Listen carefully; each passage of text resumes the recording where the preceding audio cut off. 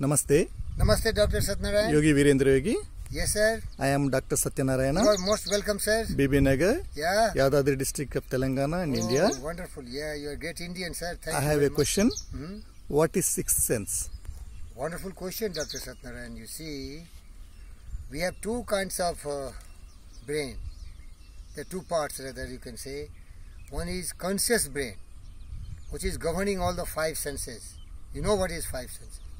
Another is subconscious part of the brain. Then you will find you have seen some kind of, you know, the mountain, which only surface is visible, little. But the major portion of that mountain sometimes is hidden in the water, in the ocean. You understand? So the conscious mind is just visible part of the mountain. And the biggest part of the brain is in the latent, the morbid state. It is not in the control of the human being. Conscious mind is only in your control. That's why, you know, in yoga also, yoga chitvritti nirodha. So you are able to only control your five senses.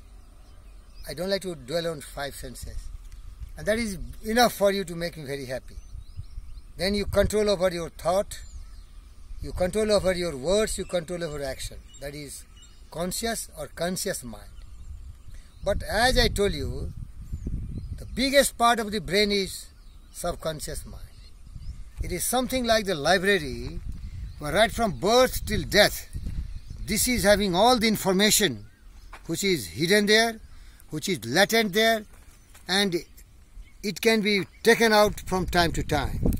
So, the subconscious mind is basically which is connected with the entire universe or what my guru and guide Napoleon Hill called infinite intelligence.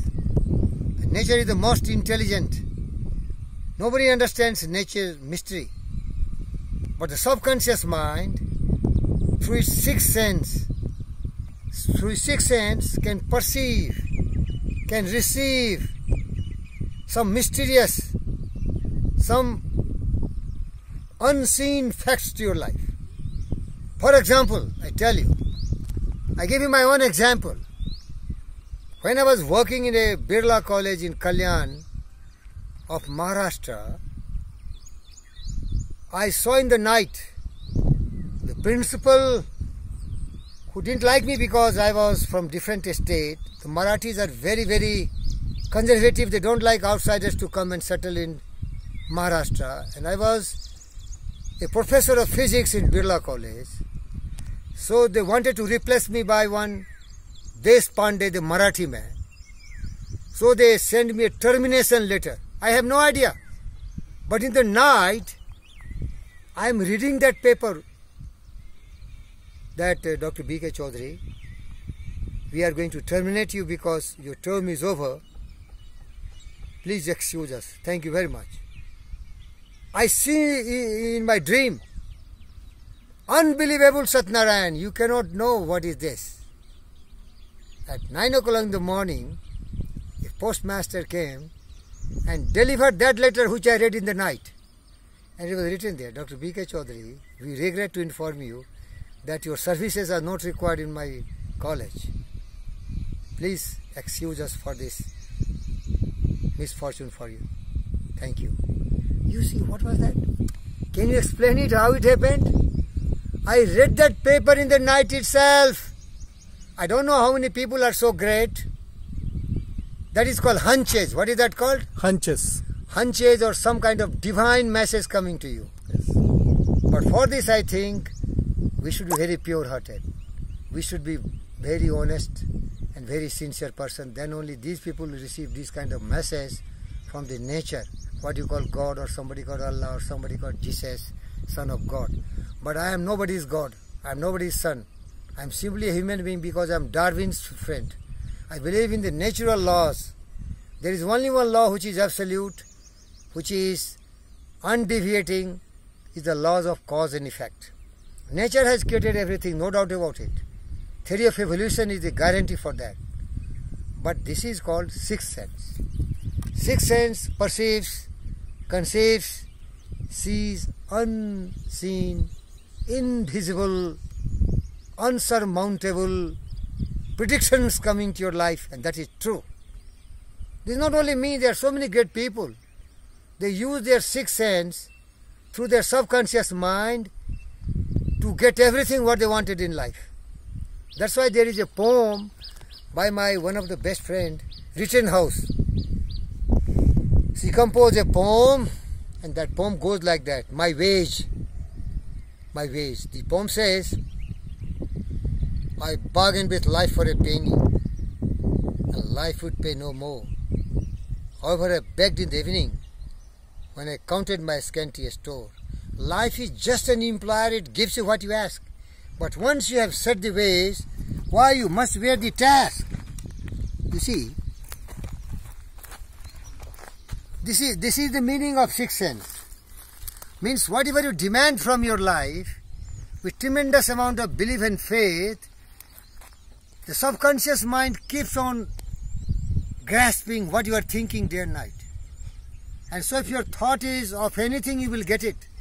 But most of the ordinary creature, they never think anything, they never dream anything, they never visualize anything, they never cherish their vision, cherish their ideals. So they become ordinary mortals. These all things are possible through six senses. You know why? In the universe, nothing is dearth. In the universe, nothing is lacking. Thoughts are things. Tell me, sir. Thoughts are things. What you are thinking, that is energy. The, what you are thinking, that is energy. That is energy. That is That energy. thought, That if you permanently, perpetually, absolutely it is haunting your mind and it has become a permanent settled object of your mind, then these thought vibrations keeps on spreading the universe. And there is one reservoir of ether vibrations where everything is visible, everything is stored. Then your thoughts, you know, start attracting all these things from the universe. And these thoughts become things Things. by through logical or some practical means. It will not be coming just like that. Dear friends, I don't like to make the video very large, but that is the meaning of sixth sense, which is connected by your subconscious mind, and you can influence your subconscious mind and activate your sixth sense. Sixth sense is not your control, but it can be influenced by saturating your mind with some powerful thoughts. One second, I want to take you more time. You see, when Buddha was asked, "Can everyone be enlightened?" He told, "Yes, can everyone can be enlightened." But he said, "Nobody become. You are only the enlightened man." He told, "I wanted it. I desired it passionately. It's by consuming obsession of my life. I wanted it. I got it." Then he told, "Then I can also get it." Yes, sir, you can get it. Anybody can get it? He said, Yes, anybody can get it. He, go, he suggested the person go to all the neighboring hundred villages and make a list what they are thinking day and night. Then after months, the person collected some thousands and thousands of, you know, the desires of the person. None of the thousands and lakhs of people have desire to be enlightened. Then he should see. They are not thinking to be enlightened. Then how they can be enlightened? I thought to be enlightened, so I'm enlightened. But anybody can be enlightened because everyone has got brain, conscious and subconscious mind. Whatever you demand from your life, life will give you. But you don't demand, you don't ask. And Jesus said also, ask, you will be given. Tell me, sir. Oh, ask, you will give in.